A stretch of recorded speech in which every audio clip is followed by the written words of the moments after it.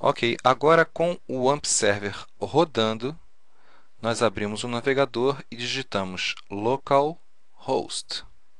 Deve abrir a tela do WAMP Server. Vocês podem ver que nosso site de teste está aqui, mas antes de executar o processo de instalação do Joomla, vamos criar uma base de dados para ele, através do PHP MyAdmin.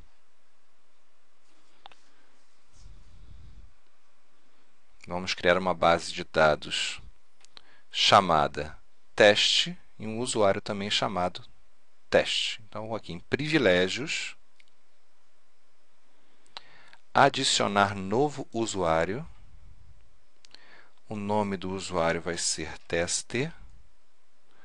O servidor local. A senha, eu vou repetir teste. Muito bem, aqui, ó, criar um banco de dados com o mesmo nome e conceder todos os privilégios. Importantíssimo marcar essa opção. Executar. Muito bem, adicionado o usuário. Vou agora para localhost.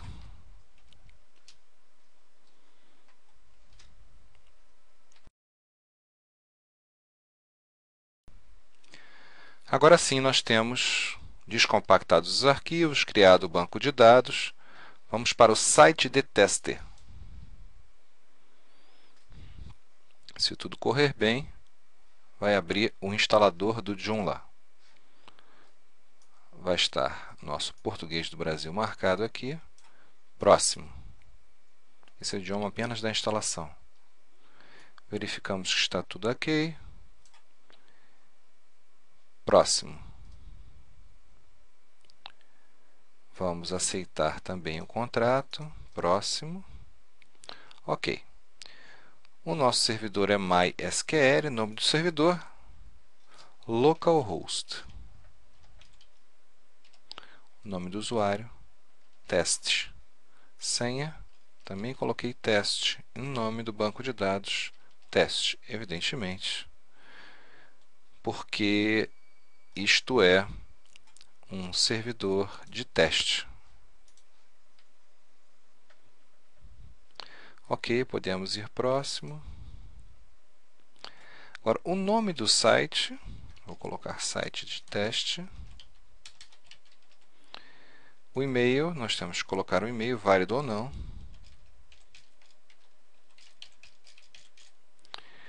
A senha do administrador, para variar, vou colocar teste.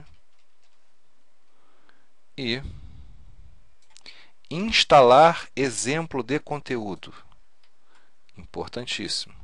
Foi instalado corretamente. Próximo. Muito bem. Leia atentamente isto aqui. Vai ser a próxima próximo passo. Voltamos para o Windows Explorer, indo no diretório AMP, www, aquela pasta que criamos. Ok, vamos excluir esse diretório installation. Se nós não excluirmos esse diretório, não conseguiremos trabalhar no Joomla. A partir daí, podemos abrir sim o site.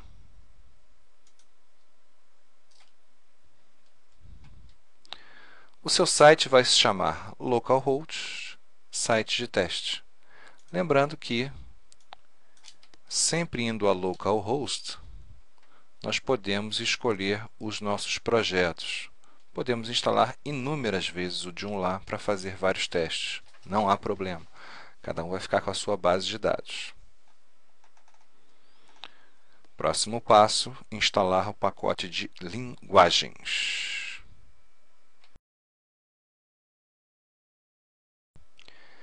Então, para instalar o pacote de linguagem, temos que entrar no back-end, no, no lado do administrador. Username é admin